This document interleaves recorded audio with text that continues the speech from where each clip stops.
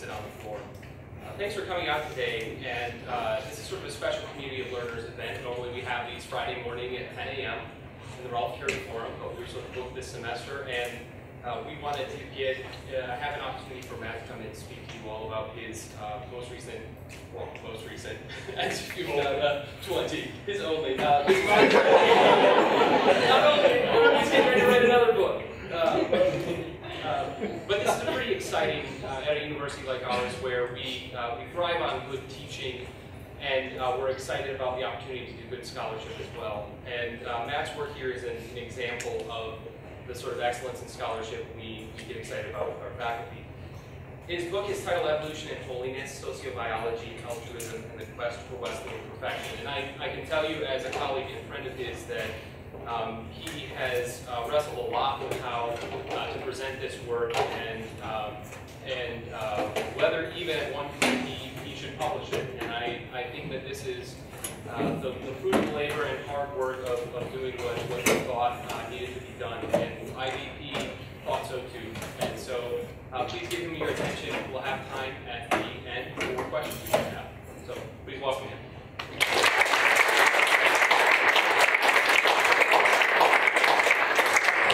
to uh, Dr. Jack Baker and Dr. Robert Woods for setting this up. Um, they, didn't, they didn't have to do that, but they, they did. That's very, very kind of them. Very altruistic. Very altruistic of them. That's right. I'm kidding. Um, uh, yeah, so I guess a couple disclaimers uh, right out of the gate. Um, so I am not a scientist um, at all. I, uh, I am not uh, necessarily a Wesleyan theologian what is it you do here, Hill? so, um, what I do is I, I, try to make sense between, at least what I like to do is uh, I try to try to trying to figure out uh, the kind of bridge between the sciences and uh, the sciences and uh, kind of our our faith and our philosophical understanding of our faith um, in particular. So. Um, you know, if you have sciencey kinds of questions, I might be able to answer some of those, but I would talk to some science people really actually know science care about better. So I'm more kind of the theory kind of side of it. Uh, also, um, I'm trying to start a conversation, hope to make kind of roads that we can kind of continue on. And more importantly to most of you here, maybe perhaps, um, I will talk for like 35, 40 minutes, and then uh, there'll be some questions. Uh, if you want to answer, ask some questions or whatever. If you want to answer some questions too, that's fine. Uh, that uh, so just kind of give you a ballpark or you know wonder when this guy's going to shut up. That's that's to go. All right. So what we're going to do is connect, uh, try to connect two ideas. Uh, I was I was going to use the word truths. I did use the word truth before, but I thought it would be a little less like uh, I don't know. I just thought it would be a little more political to use these words ideas. Um, the intersection of uh, evolutionary biology and Wesleyan theology. So this is a Wesleyan school. So you may maybe you may know that, or you might not know that. But this is a school in the Free Methodist tradition, which is uh, Wesleyan. So other Wesleyan schools, for those of you who are you know uh, interested, would be like the Nazarenes. We affectionately call it Nazarenes.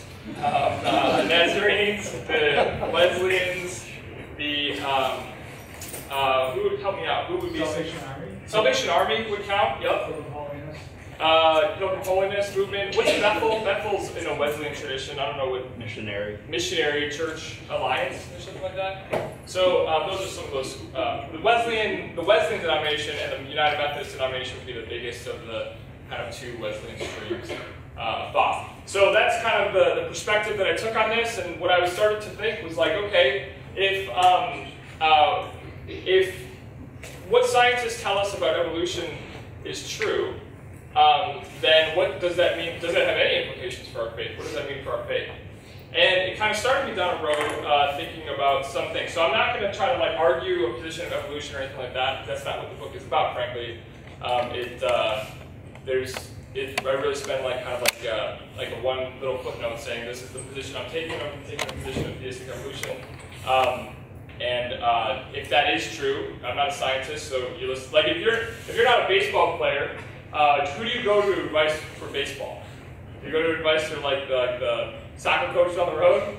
Why not, right? You go to the you go to a baseball coach or a baseball player. You say like, how does this whole pitching thing work, or what's the point of this, and why do they pitch like this? And they're like, you idiot, that's cricket, you know, something like that? Um, uh, I think cricket's actually like this. Very good. That's how is gonna go. Um, so, uh, if scientists are saying from various perspectives, lots of perspectives, astronomy, um, chemistry, biochemistry, uh, geology, um, anthropology, um, that uh, that this is kind of the way that uh, humans have, have you know came about, then what does that mean for our Christian faith? So that's really my task. If scientists come out tomorrow and say, um, you know, the world was made 30 seconds ago, and it's just really weird, it's really old, then be like, okay, well, what do we do with that, you know, theologically? So that's kind of the thing. So it's been a big fight for a while. So I'm not going to talk too much about the fight between evolution or evolution and creation. But anytime you can get a picture of Jesus punching Darwin I feel like that should go in a talk like this.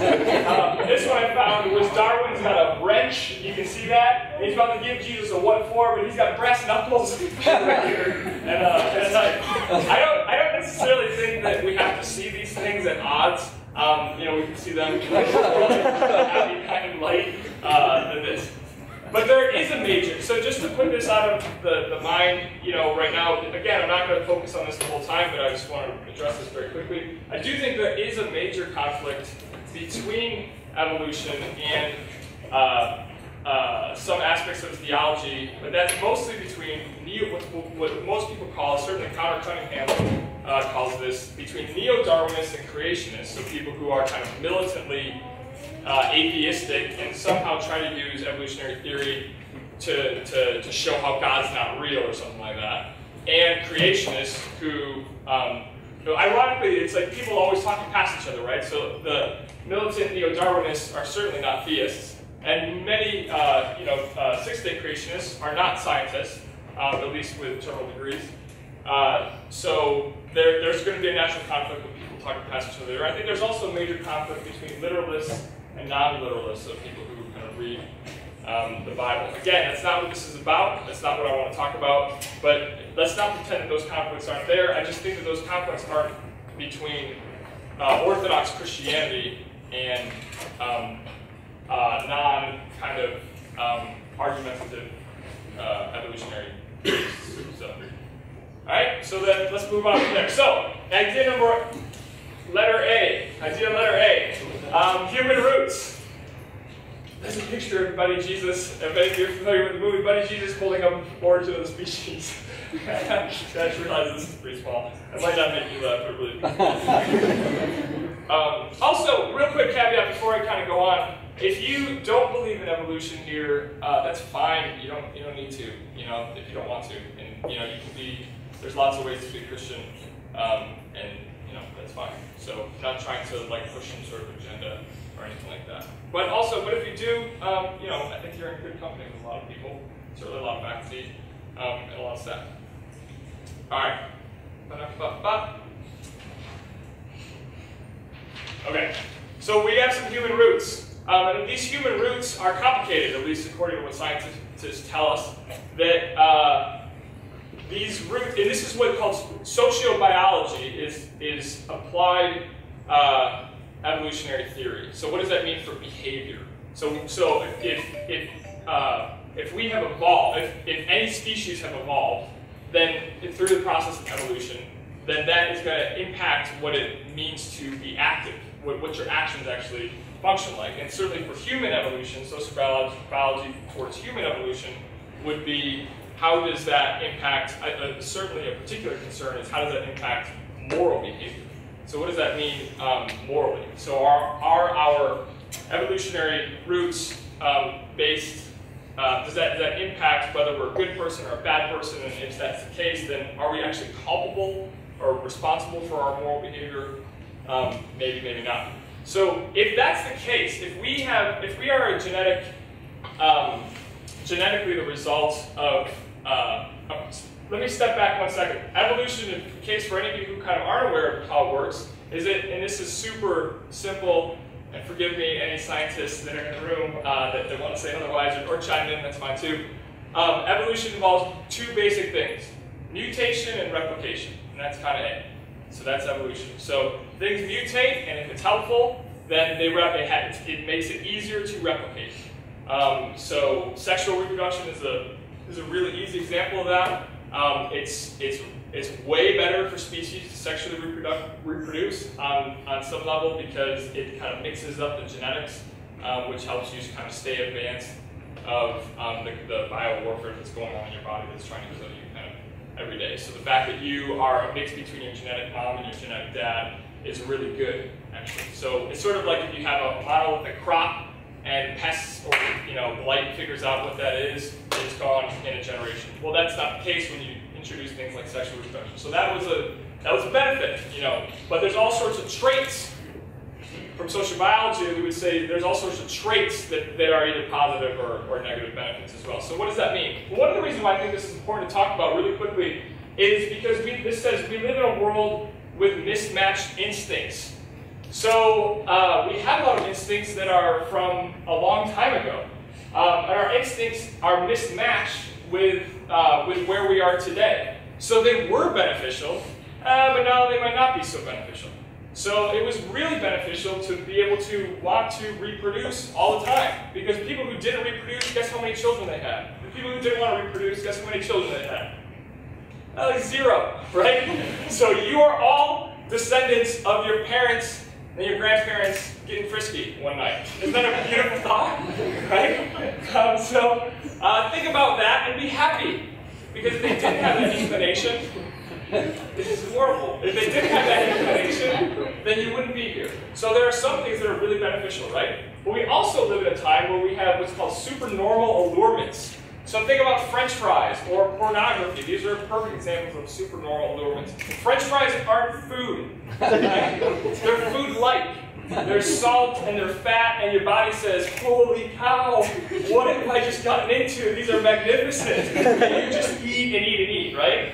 Well, your ability to maintain fat was really good. That was, but that is a mismatched instinct with the ubiquity of food and um, substance that we have now, right? So that we have these, this problem, we have a combination of french fries and um, mismatched instincts. Pornography and mismatched instincts. So I think personally, where I come, where I come from personally, is if, if we say, oh, forget evolution, we don't need to worry about it or something like that, well, we're not telling our kids, like, watch out for french fries. Watch out for pornography. Like, you're going to want to look at that. You're going to want to eat as much as you can. But you can't. That was beneficial. That's where that's coming from. But it's not beneficial anymore. So there are reasons, I think, to be open and honest with some of this stuff, I think. All right, well, what happens is you get a group of people that, that came about. Uh, Richard Dawkins is a guy that I'll talk about in a second as one of them, um, they come, come about and, and, do what I call the Benjamin Button effect. All right, so you know, uh, you know Benjamin Button, you've seen the movie, right? Curious George case right?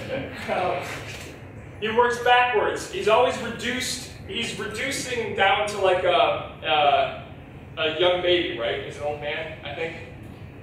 I don't, I don't truly remember the movie. I'm like, oh, this will get the kids. I'll, get it. All right, so what we get is um, there's a guy who came on the scene named Richard Dawkins um, who came up with this concept called the selfish gene back in the 70s. And um, on, on some level, he's, he's really right, and on other levels, uh, he's really, really wrong. Um, and that's, that's part of where the, at least the first couple chapters in this my project kind of critique. Uh, he's got this really interesting uh, statement that I'd like to read for you. You can't see this. It says we are survival machines. I mean, listen to the language, but I mean, you do a close reading of this, right? We are survival machines. Robot vehicles blindly programmed to preserve the selfish molecules known as genes. This is a truth which still fills me with astonishment, according to Richard Dawkins. So you've heard of like survival of the fittest, right? You guys have heard of survival of the fittest and the fit survive, or whatever, stuff like that. Well, what, what Dawkins tries to say, and this is kind of his new piece that he brought to um, sociobiology, is that it's not about survival of the fittest, it's survival of the fittest for the sake of the genes. So um, it does no good if you're like, if you are massively intelligent and massively strong and you can live to be 150 but you can't reproduce. It's according to these theories, obviously we, we as, as Christians, as kind of thinking humans would say like, well, that's your your worth is not dependent on your reproductive fitness. That's a silly concept. But not according to Dawkins, it's not a silly concept. Um, your worth really is dependent on how well you are reproduct you're reproductively fit. And so you are a, uh, a vehicle by which your genes can reproduce. This is where you get this idea of the selfish gene. So all of your, all throughout all of sociobiological or evolutionary history, you, um, uh, what all that has mattered has been to uh, be able to get your genes to the next generation. And those that were good at that survived, that's good, good for that, survived. Those that weren't, didn't. So here's what happens. Altruism, or altruism, in other words for that is compassion or kindness or generosity. Generosity is a virtue, I guess, but um, it's being selfless, I guess would be maybe synonymous to altruism. Altruism is a problem. That altruism is a problem for the selfish gene. Why would that be? Why do you think? Can anybody get a show? I don't know if you're supposed to do this in a lecture.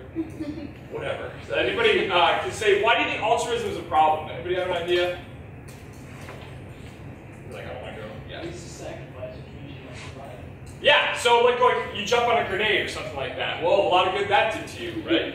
Um, or if you sacrifice for the community, um, you give up some of your food so other people can have food, but maybe that, that aren't even your, your kin. Um, or you're going to get some sort of reciprocal relationship for later. So if I sacrifice for you, but I know that you're going to scratch my back later, then, then that might make sense. That's a calculated move. But, but we know that altruism, genuine altruism, does exist, where you sacrifice with no benefit to your kin, or no benefit to a reciprocal relationship later on. So that's a problem, because we can actually measure that, and we can see that that's actually happening. So um, some people have speculated, um, oh, well, that's, you know, uh, maybe, you know, God in us, or that's um, something unique to humans only. What we're trying, what, what, and I, I shouldn't use the word we, but what scientists have kind of started to figure out uh, recently in the last maybe 50 years or so is that this is not something that actually, altruism is not a phenomenon necessarily unique uh, to humans. So this is both, I think this is both good and bad from a Christian perspective. Because it sort of takes away our little like, well, God, the, the mystery card of like, well, God kind of fills that gap there. And maybe this is actually, altruism is kind of a natural phenomenon as well. So Richard Dawkins starts off as a problem. We'll come back to him um, in a little bit. Uh, then you have this, this other, another kind of interesting factor that comes in with sociobiology called the, uh, what I um, end up calling the reduction of the, the, whole person. Do we have free will? If you can't see this little thing, I thought this would be great. It's a guy holding a hammer, and he's looking at it, and he's got three options. The one option is break a piggy bank with it, the other option is hammer nail with it, the third option is just about to hit somebody in the head, which is terrible. Do we have free will? Um, a lot of people in this field uh, think that we probably do not have free will. Um, here's a famous, this is the guy who kind of came up or discovered DNA, um, uh, at least on some levels. Brett Strick, he says this, your joy, think about this, listen to this phenomenal quote. Your joys, your sorrows, your memories and your ambitions, your sense of identity and free will, are in fact no more than, than the behavior of a vast assembly of nerve cells and their associated molecules. You're nothing but a pack of neurons. You're nothing but a pack of neurons. Right? Because if, if you are genetically programmed, in a way, through you know, uh, eons of evolution, to fine-tune this machine that is really good at replicating itself, that, that these genes have found this kind of host, I mean, this is the language that's being used actually. These genes have found this kind of host person that's really good at replicating itself. Then really you're nothing but a pack of neurons. You think you're free, but actually freedom, freedom is, uh, is a convenient tool that evolution um, kind of uses to, to help you kind of see like there's a point to living and stuff like that. So I'll just kind of keep on keeping on. So um, I, I think we would question that on some level. So not all sociobiologists are there, um, but I think uh, this kind of uh, strict determinist perspective is something that we should balk at um, a little bit at least. Yeah, I'll tell you why in a second. So, all right, so remember Dawkins. Let's look back at Dawkins. Here's another one. An altruistic system is inherently unstable because it is open to abuse by selfish individuals ready to exploit it. These are powerful statements from the 70s. All right. So this is the this is the problem. This is the problem with some of these statements. These kind of uh, uh, dogmatic statements in a way. This is from the 70s. Okay. So let's look at it um, a little bit more. Um, the science is out there. Um, Richard Dawkins. So this, what I'm going to now show you is, um, this comes from Frans de Waal. First I'm going to show you something about fairness, and then I'm going to show you uh, something that is altruism within animals. So this is first one is uh, kind of a study on fairness that Frans de Waal.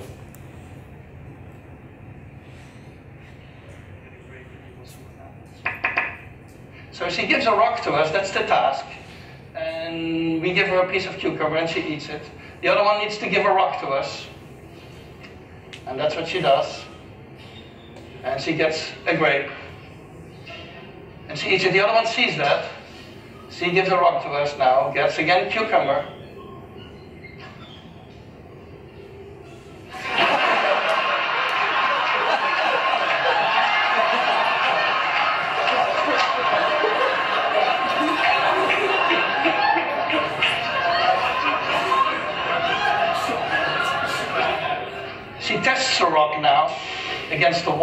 She needs to give it to us. Uh, and she gets cucumber again.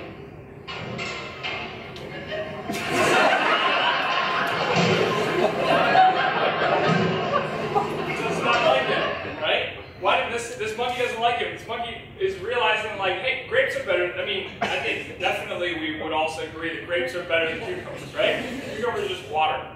Um, grapes just taste great. Um, so this this monkey is not dumb. It's looking at this the, his buddy next door, and his buddy's getting a grape, and he's like, what the heck? We do the same thing, right? Um, so animals have this kind of sense of fairness. Um, but fairness is not altruism, is it? Fairness is just like uh, like I want mine. You're getting yours, I want mine.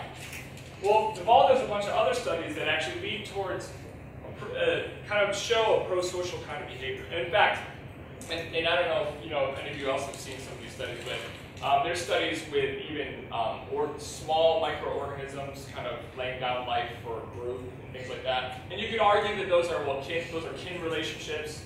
Um, uh, some have suggested, well, it's it's easier to like I don't know what the equation is. It was something it goes something like you know I would I would lay my life down for one uh, son and two uh, cousins and four second cousins and five. You know what I mean? That like the further you get from your own kind of uh, circle, the the less you're willing to kind of be altruistic.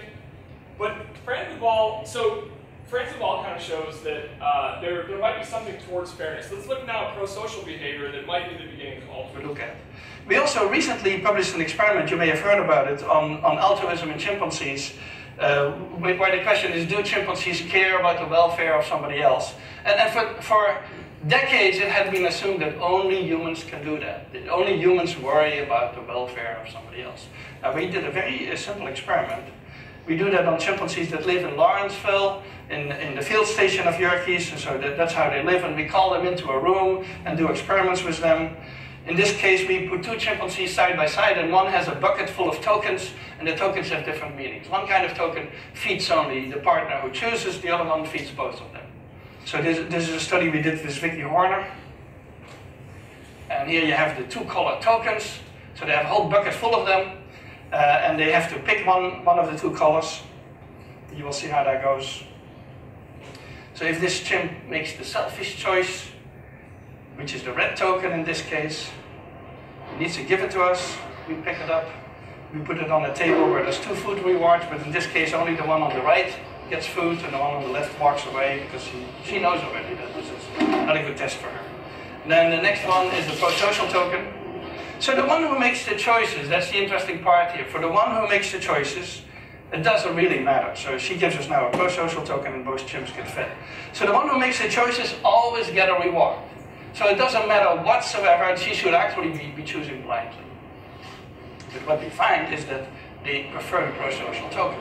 So this is the 50% line, that's the random expectation, and especially if the partner draws attention to itself, they, they choose more. And if the partner puts pressure on them, so if the partner starts spitting water and intimidating them, then the choices go down and they actually don't want to. It's as if they're saying, if you're not behaving, I'm not going to be pro social today. and this is what happens without a partner when there's no partner sitting there.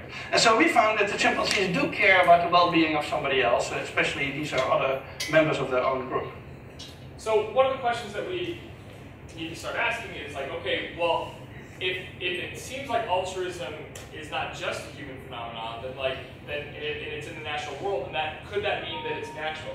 So in 2010, um, a guy, E.O. Wilson, who actually kind of founded sociobiology, um, this kind of study of applied human or applied evolutionary theory, comes up with this idea called, and it's really controversial, by the way. Even I mean, even uh, even though he's kind of the Michael Jordan of this field, um, that. Uh, uh, we'll call multi-level selection theory. Hold your hats, folks. It's about to get interesting with multi-level selection theory. Right? Um, uh, and he comes up with this, and it makes sense. This is the guy who kind of came up with uh, uh, applied evolutionary theory. All right? He he says this. Let X let X represent uh, bad behavior, so selfish behavior. Okay? Um, and let positives represent. Can you see that, or if you can see that or not? Represent uh, positive behavior, okay? Um, so there are groups of people out there. Let's just say that there, there happen to be two groups of, uh, not necessarily people, I'm sorry, just animals out there. I mean, it could, it could be people, but it also could be other animals. Um, some are selfish, and some are, so how, how, what do you guys think? How, how would a, a, a couple of, uh, a couple of really altruistic, uh, let's use people as examples, how could a, couple really altruistic people um, how would they fare in a group of people that are really selfish? They're constantly giving and they're surrounded by people that are selfish. How are they going to do? They're going to die quickly, Jeff. Yeah, thank you. They're going to do really bad, right? Because they're going to be like, here you go. You want my food? You want my food? And everybody's to be like, yeah, I'll take your food, right? How are two bad people, selfish people, I guess, I don't, I don't want to use moral language to that, how are two selfish people going to fare with a whole group of people who are altruistic? awesome. It's going to be awesome for them. Everybody's going to be like, you want some more? They're like, sure. They're going to be, you know, uh, morbidly obese and, you know, sure, right? So you would think, uh, at, at first glance, you would think, oh, well, it's better to be bad, right? They're always getting. They're always, selfish groups are always getting. But one of the questions we need to ask is, how do, do selfish people function well together with a bunch of selfish people? So like you're in a triple, okay? Uh, your two roommates are selfish. How does that function? Do they function well together? Not typically, right? Because they're kind of always both looking for what they want. Altruistic people kind of have the opposite. So what you have, what you have is this, is that over a period of time, this group actually starts to reduce. The major- so there are always going to be altruistic people in there because they're genetically breeding as well too, right? But what you get is the majority of people um, uh, are, that are breeding actually out or get competed against worse to the people that are better. So, for instance, um, uh, this group is going to be able to build roads or civilizations or um, uh, capacity to care for all people um, or something like that. Where this group is kind of only looking for themselves.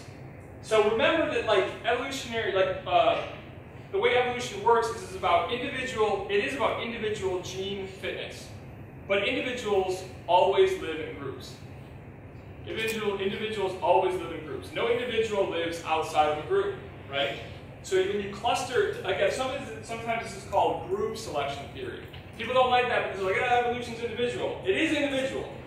But individuals live in groups, and the group that they live in matters. So uh, if the group, these individuals that happen to be together actually outcompete individuals that are selfish that happen to live together. So I'm using the word happen. So not this is necessary, but this this has happened according to E.O. Wilson. And so what you get is this essentially uh, totally bad group actually goes away and gets weeded out of the gene. And so what you get are groups of people or animals that are largely um, largely altruistic, even though they have some capacity and abilities for selfish behavior, because these two X's aren't just intermixing with X's, they're intermixing with everybody. But you see dominant traits of altruism. and so this is controversial. I don't think um, anybody would say that it's not within the theory of, um, of evolution. Uh, but this is this could explain some kind of pro-social behavior in animals, like like uh, they have the ability to have compassion. Um, we maybe have the ability to uh, be sacrificial or selfless because that might aid us actually. All right, so all this to say, I can go into more detail, but I kind of want to move on for the sake of time. We're a genetic mixed bag. We have some natural indications towards selfishness, give what I need to survive. We also have some weirdly genetic, perhaps, or natural, maybe the, the safer word, inclinations towards altruism. You're willing to jump on a grenade. You're willing to give up food for the sake of other people, etc. All right, so that's idea one. Idea two, or B, is uh, Wesleyan holiness. So you don't, uh, you know, a lot of you are into Wesleyan holiness, but you know, I'm assuming some of you are sort of familiar with it. It means Wesleyan, Wesleyan holiness is kind of controversial. um, to say the least. Actually, I think it's more, way more controversial than evolutionary theory, quite honestly. um, uh, either you can be holy or you can't be holy. So it's an either or situation. It's like a pregnancy test, um, sort of, right? So this is us. we joyously found out that the child we were, yeah, our first child we were actively trying to not have. But this is the picture that said you can kind of get that. But we had them. so this is our picture for that. My wife's like, smile. I'm like, hey. Isn't that terrible? Um, so either you can be holy or you can't. You can't be like sort of pregnant. You're either pregnant or you're not pregnant. So I'm not trying to say that you either, a person for their whole life is either holy or not holy, but either, but philosophically, either holiness is attainable or it's not attainable. It can't be sort of attainable. Does that make sense? You know, see where I'm going with that? So it's either attainable or it's not attainable. And Wesleyan uh, theology says it, in fact, is attainable. And in fact, I would argue that most, uh, all Christians uh, need to say that it is attainable, whether it's Lutherans oftentimes believe it's death itself that makes you holy. Um, Orthodox are like, oh, no, mystery, you know, they don't know. um, uh, other people like Wesleyans believe like holiness can happen in this life. Um, Catholics oftentimes believe that purgatory is the process by which you have a purging makes you holy. So I'm not trying to say this is perfect. It's not about perfect. It's about perfect. All right? It's not about being perfect. It's about being perfect. What I mean by that is this: is that um, this doesn't mean that. Uh, first of all, I I'm not holy. Uh, I don't consider, and I'm not saying that as some sort of false humility. I'm not, and I don't consider myself uh, holy. Um, but I do think it is possible. So that's kind of where I'm coming from. And this holiness there does not mean um, uh, perfect, like mistakeless. It means that you have a kind of intimate union with God. Your desires are God's desires, um, etc. All right. So if you can't be holy, then I think there's a couple questions that you just need to ask yourself before we move on. Um, then who is Jesus? Uh, you're kind of outside of orthodoxy if you if you believe that like you, you can't be holy or people aren't won't ever get holy. Well, Jesus was kind of we would consider Jesus to be a holy person, right? Kind of. yeah, we would, right? okay. Um, Jesus was a person, just like you and I. Now, don't step out of orthodoxy and be like, oh, but he was like God, but with a little, you know, fairy dusting of, like us, but with fairy dusting of God. That's called heresy, actually. so we can't kind of go there. He's 100% a real person. Um, this is an actual representation of what Jesus looked like at some point in his life. We don't really know which one, dude kind of sash, Caucasian, probably not, you know, uh, but he actually looked like this probably at one point in his life. So a real person who we believe was holy. So I would, if you don't believe that we can be holy, I would check your kind of orthodoxy card. If you don't believe you can be holy, then like, what do you believe about the Holy Spirit? Um, you know, your God's weak. So I thought this. I thought this, you know, a la Jack Baker. Um, I thought this would be funny. It's like Jesus and the devil um, uh, arm wrestling, like they're equals. Whoa, going back and forth. Well, that's bad theology as well, frankly, right? Um, no, if you don't believe you can, if you don't, if you don't, if you think that you're always going to have to sin, sin's inevitable. What are you going to do? Um, then I think you have really big problems theologically with like, what's the point of the Holy Spirit? Uh, so what the Holy Spirit is not powerful. God Himself can't help me out of this temptation. That's pretty problematic. uh, theologically speaking. Uh, hopefully, we believe that God is a little bit more powerful. If one can't be holy, then Jesus' commands were just a joke. Right? Jesus is like, go and sin no more. I mean, you can't do it, but just go and sin no more. Right? What is he, what's the point? So we do, I think, theologically have all sorts of reasons to have to believe that it's possible to live a perfect life. Um, the, uh, in, in regards to holiness, not in regards to like making a mistake or forgetting your children's names or something. Which I don't know why I did that. Alright? Alright. If one can be holy, um, then we acknowledge the fact that we have free will. Every decision is a choice. You approach a situation, uh, should I should I eat like the fourth cheeseburger in a row right now? Uh, maybe gluttony, you shouldn't do that. You know? Three, fine. But four, I mean, that seems a little over the top, right? Should I look, uh, should I look at this guy or this girl a little bit too long? Uh, should I lie? Should I uh, steal? Should I cheat? Well, those are, I, we, we believe those are decisions, right? You're not forced to do that. If you're forced, I've used this example before, if I, if I get out of a bank and I put a gun to your head, and you're just like minding your own business, do do do do, and I put a gun to your head and I'm like, drive! Are you responsible for being my getaway driver when I stole money from bank? No. Culpability and free will go hand in hand. But if you're like, hey, my accomplice, and then you wait around the corner and we drive out together, then you are responsible. So if you believe, like most Christians, there's a very few percentage of Christians that don't believe that we have free will, but if you believe that we have free will, then in fact it's philosophically possible to string together correct choices that could lead to a holy life. I think otherwise I think we have a problem with our logic. Alright, so how does this fit? One of the beauties, I think, of this, um, reconciling these ideas, um, that of both science and this kind of theological concept of holiness, is that it helps us avoid pitfalls of dualism. We are mental, we are physical, we are spiritual, we are emotional. We are, uh, we are complex beings. Um, dualism is really bad, right? We know from, from somebody that took philosophy, um, you know that like Platonic dualism is really, really bad. Why? Because it says like soul stuff good, spiritual stuff good, body stuff bad. Soul stuff good, soul stuff real. It goes to the point to say soul stuff real, body stuff bad. What does that mean about the physical resurrection of Jesus, the physical resurrection of us, the incarnation of, you know, of Christ, uh, the virgin birth, uh, that's really bad. The new heaven, new earth, the physical earth that we're going to be on, that's really bad for our theology. So, kind of avoiding those pitfalls and recognizing that we aren't just these souls, you know, like locked into this, you know, machine of a body. Isn't it ironic when you go back and think about um, Richard Dawkins talking about us as machines, and Francis Crick talking about us as kind of um, nothing but a pack of neurons? And then you hear kind of dualistic talks about like, well, we're just a soul in this like body. You know, they're actually weirdly enough saying the same thing. In fact, maybe um, maybe we shouldn't look at it that way. Maybe we should look at ourselves as mental, physical, spiritual, emotional, um, intellectual beings rather than just bifurcated like that. All right, how does it fit? Wrap it up, Hill. Here we go. All right, so how does it fit? Altruism is hardwired into our DNA. I think it is. Um, just like the bad stuff.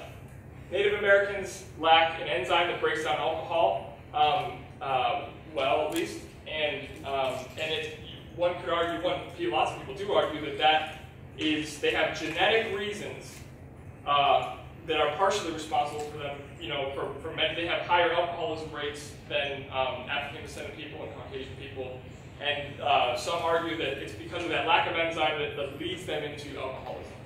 Well, that's bad. We say that's bad, right? Um, uh, anger, violence. Some people are more prone to violence. They're just genetically prone to anger and being frustrated, like this horrible, wretched person here. I don't know who this is. um, so, does that mean you're less or more culpable for your, your behavior if you're prone to those things? Well, but you're also prone to, like, oh, puppies, right? You're prone to loving puppies. Why? There's all sorts of biological reasons and evolutionary reasons why puppies are cute. Um, yeah, so we're mixed bag. Um, we're also probably prone to helping our neighbor on some level. Does that take away the Holy Spirit? See, these are big problems, right? I obviously don't believe it does. I don't believe it takes away the Holy Spirit's power in our life. I actually think that this is why John Wesley fits so well with this stuff, because I think he, he intuitively picked up on something. All right, let's look at Wesleyan holiness. Um, we're, we're good Wesleyans. I'm sure all of us in here are good Wesleyans. We believe in grace. Um, grace is not a loophole. It's, um, a, a, I think, a vehicle by which God uses to kind of help us. That word is funny around here. Oftentimes used a lot. Like, you know, it's a, this mist floating in the air. We just give grace. You mean be unaccountable? That's what you mean, right? no, grace uh, can be uh, mean something different theologically. All right. Um, there's three different ways you can look at this. How does how does uh, the biology of being a mixed bag fit with uh, an altruistic life? Am I morally am I morally accountable for being a good person or a bad person? Should I get accolades for being a good person if I was like oh, was genetically kind of forced to be a good person? Should I be held morally responsible if I was kind of just genetically a jerk or a sociopath or something like that? What do we do about that? Well, do we say that, like, okay, God's grace comes in through the Holy Spirit and it replaces our, uh, you know, now all of a sudden I'm a Native American, I, I, I have that enzyme that helps break down alcohol, or it just replaces it? Well, that's that seems kind of illogical, illogical for a whole bunch of reasons, mostly because it picks up dualism again, at least from a theological perspective, that's bad. Does it work in parallel? Does God kind of work alongside me to encourage my good stuff, but you know, discourage my bad stuff? And parallel play with this kind of soul that's in there struggling back and forth with this bad body that's going, you know, that, that has been given to us by this evil evolution or something like that? Well, no, because that still has this idea, this flavor of um, uh, dualism with it. So what I want to argue is with it, and I can talk to you more about this later, but I want to get to questions, is that um, uh, I think there's a natural approach that we can that, that God works with to help us overcome some of these constraints. So I like to use this example of a rope. Um, that you get connected with God. Let's say that, you know, I don't know, whatever, however your faith works. Um, you get connected with God, you know, whether you were baptized as a child and that's your immediate, you know, kind of connection with God towards this rope, or you have a conversion experience uh, later on in your life. But one way or another, you're a Christian and you're connected to God. And you have this kind of rope, we'll call that, that, that grace, we'll call that rope grace, right? You're connected with God. And there are moments in your life that you pull that rope so you keep drawing on God, right? You keep drawing on God and you pull that rope closer and closer. And you are so close with God that you don't really need that rope to connect you anymore. I mean, it is, you're, you're, you're, touching God right? And there's other parts in your life where you are so you're not on so much rope. And you're still connected to God, but you, you know, you, you can't even see Him anymore. And then maybe this is how some people walk away from the faith, I think, right? They look at this rope in their hands, they don't know what it's going to, and they're like, well, what's the point of this, right? So could it be that, that the Holy Spirit is an active agent working with our biology and our DNA to encourage us to keep drawing closer to God?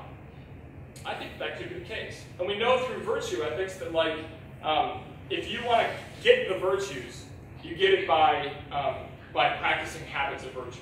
It's kind of cyclical that way, right? If, uh, if you want to, uh, actually, Peter uh, Böhler talks uh, about to John Wesley. He's like, if he, you know, he struggled with his faith at one point, and he's like, if you don't have faith, preach faith until you have faith, right? I like that a lot. I think it's the same kind of way look, uh, if you want to get the virtues, practice the virtues, and eventually you'll have the virtues. You know, practice generosity, and eventually you'll just you'll be a generous person, virtuously. The Holy Spirit might be saying, look, you know, massaging and help these uh, working with us. Howard Snyder actually would kind of argue the same thing. God works with creation, helping us, you know, use these natural inclinations towards altruism to become a more holy person. Why can't it be God working with rather than God always against? You could use an example of a kite. Um, and this shows that, like, by the way, in Wesleyan theology, um, our work is always a response to God's grace. I think you know, I should say that very clearly. Our work is always a response to God's grace. So you have the Holy Spirit wooing you, and then we respond. So we have this idea called prevenient grace that God has been working on everybody even before they know Him, and it woos them to God. And then uh, eventually, you know, you actually have to show up and do something right? At least in Wesleyan theology, God's not just like, boom, you're saved, regardless of whether you want to or not. Like, no, kicking and screaming. That's not how it works. Eventually, you respond out of your own action. we are altruistic, we are selfish, we're a genetic mixed bag.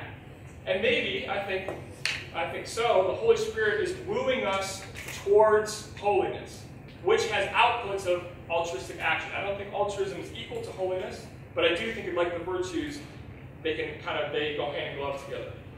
So another example I like to, like to use is a kite. Um, you know, kite doesn't work without wind. You can have the Holy Spirit, you can have the, the altruistic kind of inclination set in place, but it does take free will in action, maybe that represents the wind or something like that, to actually move this kite and set it a sail. It's got to be both God working first and us responding at the same time. So in this way, I don't think we have to deny the fact that we are a mixed bag genetically, but I think we can say, I think it leaves room to say that God might be working through our complex you know, human characteristics through eons of evolution to get us to a place where we can maybe works on to become holy. So the last kind of section of my book that I kind of talk about is what John Wesley does. He he doesn't, you know, this it would be anachronistic to say that he, he knew anything about Darwin or something like that. No, that's not how it works. But um, he intuitively picked up on what it takes to help people become holy people. These weirdly methodical, this is why they call them Methodists, right? Practices that made people better people. And in, I, I think that in some ways he intuitively picked up on the kind of groups and the kind of activities that actually foster this altruism within people. I mean, he helped get people out of, I mean, uh, you know, Dr. White could, I'm sure, attest to this more than I could, but he got people out of, um, you know, all sorts of drug or, or alcohol addiction and um, poverty issues related to kind of um, social uh, practices and, and, all sorts of terrible situations. Um, he intuitively picked up on something of the human condition um, that I think uh, was the fact that we are this genetic mixed bag. And he started help asking people to, to, to, whether they know it or not, just to start working on these habits and these practices and uh, inviting God in that process too. All right, uh, I'm just going to leave this open to questions now. So I'm going to probably stop there. Any questions or thoughts?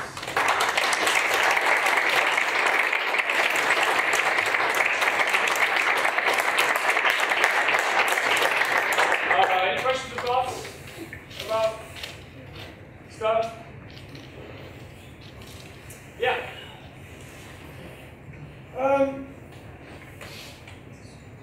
so Dawkins is a so-called selectionist. If it moves or quacks or pukes, it's all because it's selected a selective advantage. Um, you're probably well aware of the neutral theory, Kimura's neutral theory, that not all traits are due to selection. And well, this is where you get mutation and replication, right? Yeah. Um, see, I was at a meeting once where someone uh, was talking about mutation and so on and so forth, and he, he said, yeah, just like what Dawkins says, and the whole room erupted in laughter. Because Dawkins' views are essentially close to 20 to 30 years out of date. Yeah, yeah, I, I disagree at all. Selection is real, but the neutral theory is also real. There are some things that are just, you know, Stephen Jay Gould and the spandrels of the cathedral and so on and so forth. They, they're historic contingencies. They don't really, they're invisible to selection. Sure. And they're carried along. Sure. So if we take the neutral theory and, and put that into the gearbox, shall we say, or this black box, or call it brown, whatever. Mm-hmm. How does that then, okay, we're a mixed bag. Are we, are we mixed bag solely because of natural selection? Or are we a mixed bag because of our history as well? Historical contingencies. And then the hand like of God has something to do in molding those contingencies? So, like in an epigenetic way? Yeah. Like, um, or not even epigenetics, just actual inheritance. that might have been linked to something that was selected, but not it's not really something that yeah, so, was able to see, so to speak. Right, so what Dr. Brad is trying to say is like, well, uh, what if uh, evolution produces something that, that kind of tags along, but, uh, but isn't necessarily helpful or unhelpful, It's neutral. So um, uh, could God select just the helpful one or something like that? Yeah, I don't know, sure. He can do whatever he wants. I don't, you know, I don't know how that all works. So I, what I do know is that um, I think you know scientists are asking natural questions. Theologians are asking theological questions. So um, uh, I don't think many scientists who are strictly asking natural questions would kind of get to a place where they would say God intervened in those ways. I don't see why it's a you know that would be like a um, uh, you know a, a question even more simply like does God exist or does God does God not exist? I mean uh, I don't think that can be proven or disproven. So I mean to, to argue that God kind of selected certain traits ab- above others could be true or could not be true. So I, I guess I'm agnostic on that. I, you know, I would have no idea what God is doing. You know, but like, uh, so and Dawkins is. I mean, he, he's an easy whipping boy, right? I mean, so and so yeah. I mean, I have like a hundred pages dedicated to you know dedicated to like his um, kind of reductionism, and and people like him. So he's not alone in that um, kind of reductionism either. Um, but you know, his idea of selfish gene as replicator, I think that kind of base premise is, is taken seriously by most people. So he's got he's got all sorts of weird metaphysical claims that he has. Um, all of a sudden, he'll say like he'll say things like um, uh, there was these uh, uh, pre-human uh, animals that were um, uh, you know they would go in and they would kill all the young and they would have uh, sex with all the women so they would know the children are them. But he doesn't say kill and have sex. He says murder and rape. Well, those are morally loaded things. So he's problematic on all, all sorts of places. So I think he, and then he's got the, the last chapter in Selfish Gene is about memes, which is like totally undermines this whole. So he's got all sorts of problems. But I do think his Selfish Gene idea took people to a place where uh, they said, yeah, you're right, it's not just about individual selection, but individual selection towards genes. So whether that's God or not, I mean, I would, I would not know where to speak. Yeah, Chuck. Is it true that in evolutionary theory, that let's say 30, 40, 50 years ago, people had a problem with altruism? Because people would say, uh, well, we don't believe in, in evolution because it can't, it can't account for altruism. And that was supposed to be a big defeat. Yeah, sure. Well, then the evolutionists said, well, wait a minute. Yes, we can because Yeah, ants are altruistic. yeah. And that's E.O. Wilson, right? Yeah, exactly. And he's just, that's his favorite thing, Sure. ants. Right. Um, and so now you say, well, it's not just individuals, it's groups. But then we as Christians Look, look it's at individuals in groups. I think that's important. absolutely, Yeah. but but no, okay. Yeah. Then we as Christians say, well, wait a minute. What a big surprise that that when you act in a way that God tells you to, it gives you evolutionary Yeah. advantage. Sure, absolutely. How, how does that surprise anybody? Absolutely, I couldn't have said that. Like, and this is where every I feel like you know you can't look at like every new discovery because that's that's uh, you know oftentimes uh, the thing that I like about scientists is that they are always looking to be wrong. You know what I mean? I think that's a pretty cool thing. We're not we don't do that in the theology or philosophy, right? So like they're like, hey, this is what I think, and if you can just prove that, then sweet, we're closer, a bit closer to the truth. Think that's kind of a neat concept. But and when you look kind of at a 30,000 foot view of big discoveries that seem to hold true within science, I think it always comes back to us and be like, yeah, we were saying that all along. This is exactly what we've been saying. Yeah, it turns out altruism is really handy. You know, uh, that's not self-destructive. That of course, even beyond kin uh, altruism and reciprocal altruism, uh, it's just good for the group and it's good for the bigger picture. And that's something that I think, and I don't, you know, Wesley obviously didn't know about this stuff. He couldn't have, but I think, um, I think somehow he intuitively picked up on certain tasks, like his small groups and his uh, really, really um, specific uh, instructions about how to live a Christian life that fostered a certain kind of person that both burgeoned altruism but on the back, or burgeoned holiness but on the back of, um, you know, kind of these altruistic natural tendencies. Robert Jastrow, who was one of the main astronomers, he actually ran the um, Mount Wilson Observatory, wrote a book in which he said that it's like the astronomers are climbing up this mountain, and they get to the top and they find the theologians are there. Yeah. And because the idea is the astronomers think now that there's a that there's a force that made the world, and you know that Sure. there was a beginning and so on. would you say that morally, the evolutionists have been climbing up the mountain, they get to the top, and they find the guys with the Bible, the, the, the theologians at the top? Um, you know, I think on some level, uh, I think I do believe that like all, if, if something is absolutely true, then I think that um, that, uh, that that that points to Christ, because I think Christ is the absolute truth. So I would actually maybe change it and say, um, could it be that scientists or something like that are coming up the backside or the front side, this side of the mountain, and um, and maybe theologians were already a little bit higher up and figuring out some of the had you know kind of some sort of And awareness. the of this before. philosophers are the ones at the top. That's- Philosophers are at the bottom, you know, like holding the phone. That's yeah. So I, I don't know. I, I would I, I think they're just doing two different things, you know, to the same truth. And I don't know why. I don't think we have to be afraid of that necessarily. So I don't know if one is better than the other. I think they're revealing two different um, uh, aspects.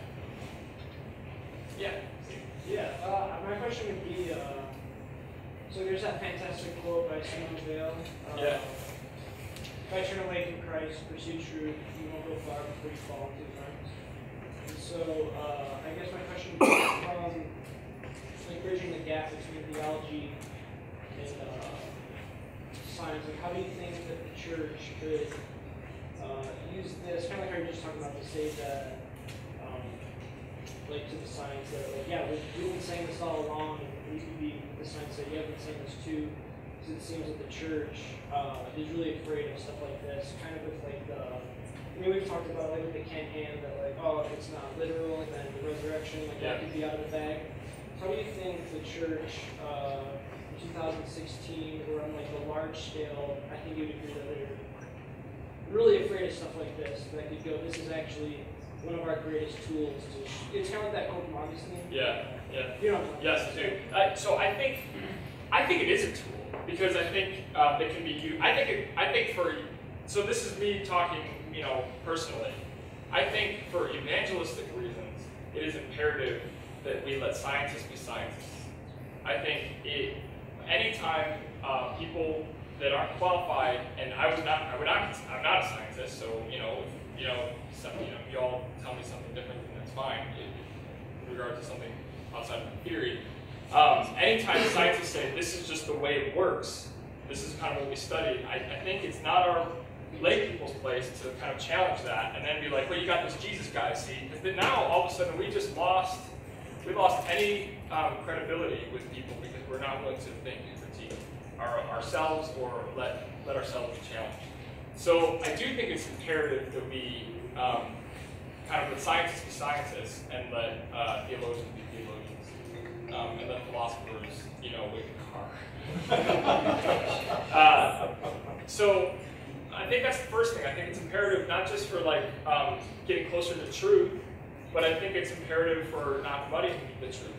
And I don't think we need to be afraid of this. I don't think we need to be afraid of those things. Um, so, you know, uh, one of the things I love about the Free Methodist Church is that it does not take a position on origins, and it does not take a position on end times. You know what it says about end times? I don't know, I guess God's going to win. I mean, it says a little more articulate than that, but it's like, I don't, we don't really know how, but it's, that's how it works. You know what it says about origins? God created. Just know that God created. That's, a, that's great. Because why do we need to know anything more? Of these, of, you know.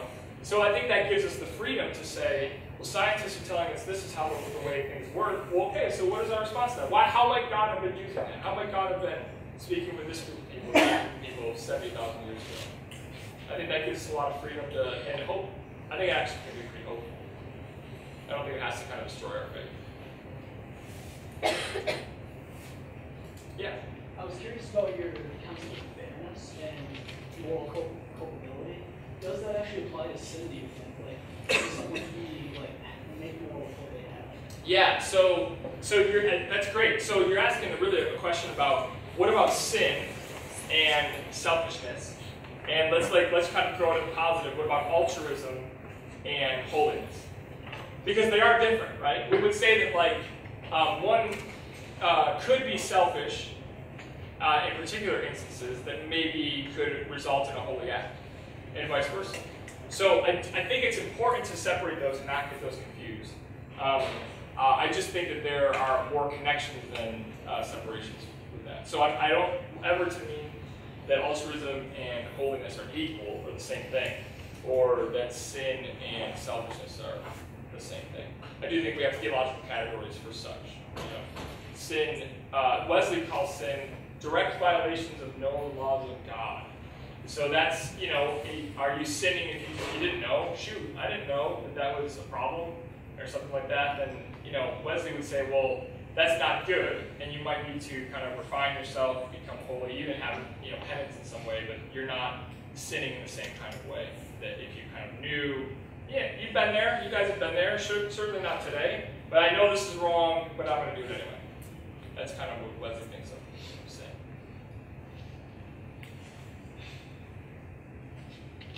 Any last thoughts? Questions? Where'd you get the monkey video? Oh, it's YouTube. I don't know. Remember what it was called? Uh, Show that to my kid. yeah, you should. Um, I tell you, friend, you know, uh, Frans de Waal, he's not, he's not certainly not a Christian. Think he believes in God or anything like that. Um, but he does, he makes this interesting claim. That he, he says, um, uh, he's like, he, and this is not me speaking, this is him, just to, you know, for video's sake. You know. Um, that like, oh, well, morality can come about, he thinks, without the help of religion. But religion really helps people be moral. It's interesting. And he uh, raises a few eyebrows in um, uh, the, kind of the atheist circles. So, yeah. Is the controversy that surrounds the Wesleyan theory that um, most people believe that you like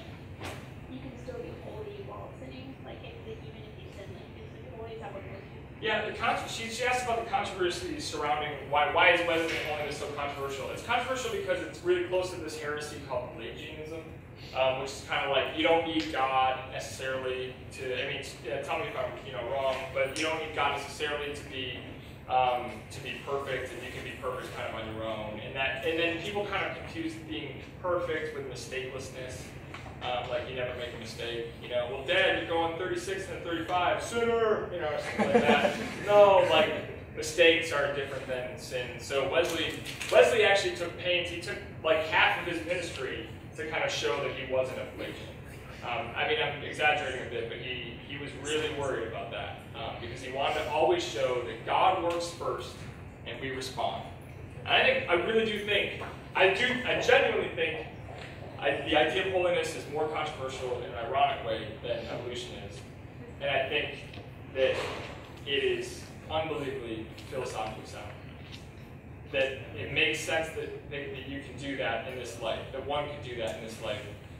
Um, you know, I don't really know how to, but you know, that's where we look. Uh, that's where we look to people that are, you know, better done that. You know, to be able to get a sense